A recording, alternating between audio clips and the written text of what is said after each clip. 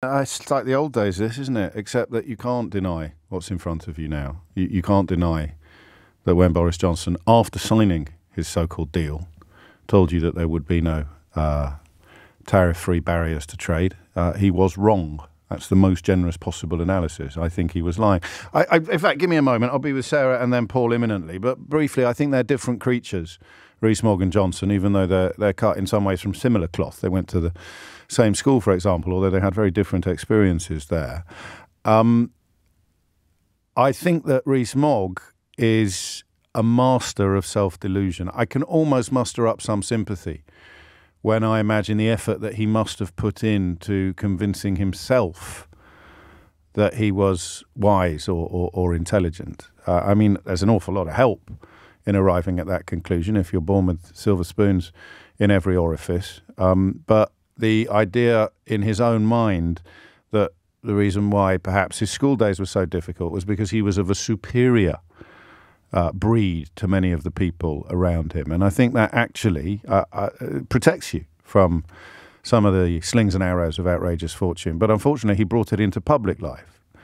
So that might be his uh, personal protective mechanism but he brought it into public life and he honestly thought he understood these things better than the Director General of the World Trade Organization or actual import agents or anybody really. Uh, I, I, always remember Kieran, who always described himself as a van driver, but he understood.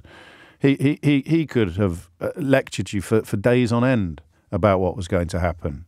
Um, and yet, many people denied it and now it is happening. So I think Rees Mogg is a curious mixture of, of delusion and ignorance. I, I think he's got a very mediocre intellect, but an incredibly well developed engine of delusion. And so, in the same way that he convinces himself he's a superior breed, so he convinces himself that Britain will somehow thrive and flourish by removing itself from associations with, with, with foreign countries. So I don't think he ever stopped to work out whether what he was saying was true or not because it was like an article of faith we, in fact, let's remind ourselves of some of the things that he that he said. Um, let, let's start, of course, with with I mean, possibly the stupidest thing he's ever said in public, although it's a it's a very crowded field.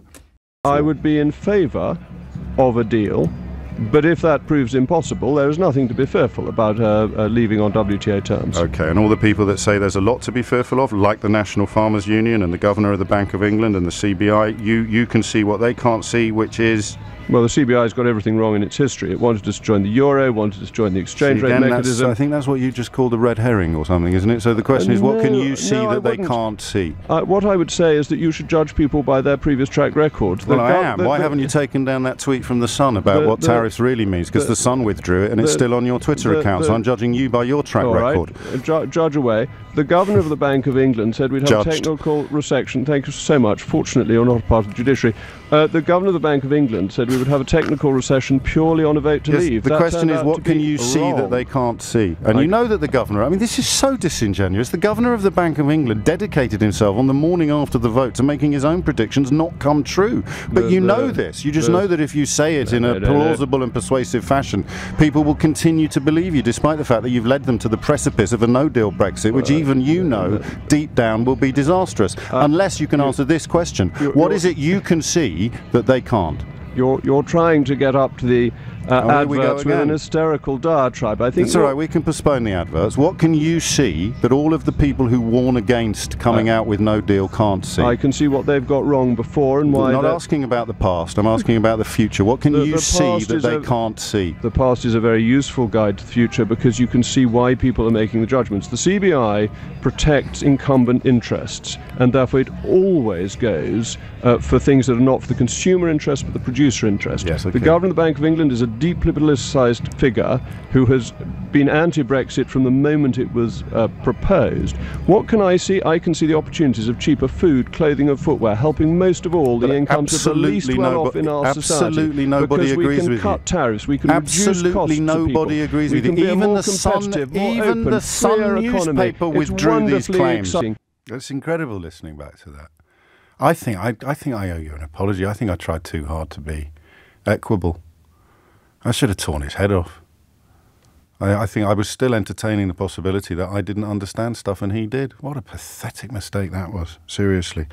And check this out when you don't have to endure my voice on this one. In terms of improving people's standards of living, as, as you mentioned there, when you look at almost every major independent economic body and their predictions, when you listen and listen to the governor of the Bank of England, when you listen to people running major international companies, their view, and it's, it's a prediction rather than fact, but their view is that it will decrease. A no deal Brexit would decrease living standards, that employment would go down, the pound would go down even further. We'd have inflation, which would make it harder for people living on the breadline to buy food. The prediction is it would be a significant shock to the economy. They can't, we can't just dismiss what all of those bodies and all of those people say, can we?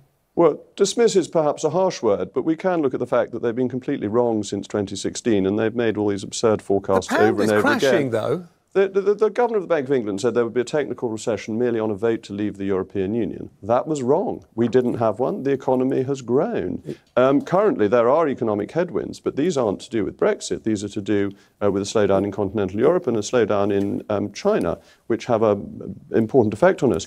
But the way we can improve people's standard of living is once we take charge of our own tariffs, we can reduce tariffs on food, clothing, and footwear, uh, and that improves people's standard of living very directly and helps the least well off in society at the most. It's a really exciting opportunity. Extraordinary. And and listen, you know, I'm cursed with this need to see the best in people. Maybe not him. But you, you know, if, if you were one of the people sending abuse to me after that interview, I, I, think you can still see people on YouTube, not that interview, the, the one that I did, still see people on YouTube going, ha ha ha, O'Brien got owned. It wasn't a battle. It wasn't a game of football. It was, it was a, it was a, it was, it was a battle between truth and lies. And, and he lied to you. Or he was too stupid to understand what he was talking about. And another very good example of that, of course, um, in the news today and finally, it looks as if the Northern Ireland Assembly is returning to work, Northern Ireland effectively, without any devolved government at all for, for months and months and months, as a direct consequence of a Brexit that Jacob Rees Mogg said would have no impact whatsoever on Northern Ireland. And understanding it was really simple. You needed to understand that the Good Friday Agreement hinges upon there being no substantive difference on either side of where the border used to be. Life had to be the same, trade had to be the same, rules had to be the same. You needed to have regulatory alignment. But again, because the actual words regulatory alignment didn't appear in the Good Friday Agreement, like a sort of a, a, a, very mediocre sixth former in a debating society, he thought that was a powerful point.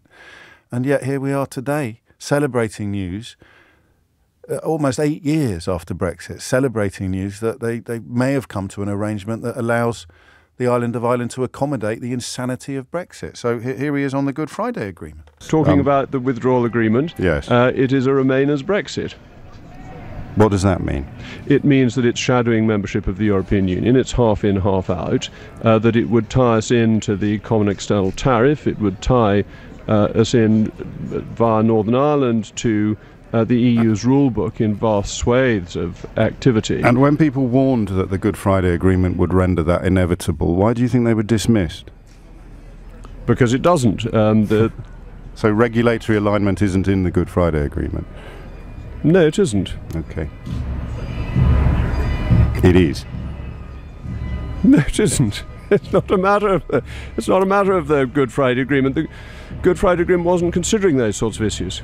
You, you don't think the Good Friday Agreement insists on regulatory alignment on both sides of the Irish border? No, it doesn't. I, I, I, what do you do now? What do you do? Uh, literally, in, in, in, Thomas's news bulletin, we're, we're, we're reporting upon a resolution of the problem he just denied existed. Eight years. Eight years after Brexit, and God knows how many years since that interview. Five years, I think, almost to the day since that interview. Go on YouTube, have a look at all the people who still bought his snake oil, still buying it last month. And, and yet now, it, I mean, it is literally like arguing that the world is going to end on Tuesday and, and it's now Wednesday.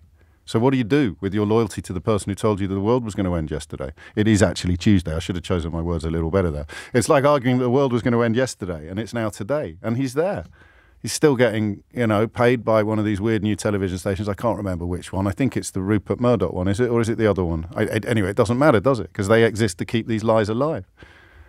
And, and, and I was motivated throughout by a deep belief that you deserved the truth.